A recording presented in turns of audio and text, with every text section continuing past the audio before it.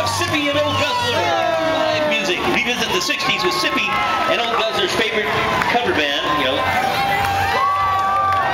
Jim and Julie. And here we have Sawyer's Vintage Service.